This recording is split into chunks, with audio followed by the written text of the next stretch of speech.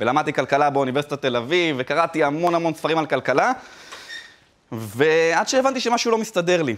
משהו פשוט לא מסתדר לי, ובאתי לכל המרצים שלי באוניברסיטה ושאלתי אותם כמה שאלות שמבחינתי היו מאוד מאוד בסיסיות, שלומדים אותם בשיעור הראשון בכלכלה, ולא היה להם תשובות מספקות, הכל היה ברמת גן ילדים. כלומר, הם ידעו להגיד לי על זה שבע מילים, ואמרתי, אוקיי, ואיפה הרחבה, אוניברסיטה, הוכחות, דברים? אין.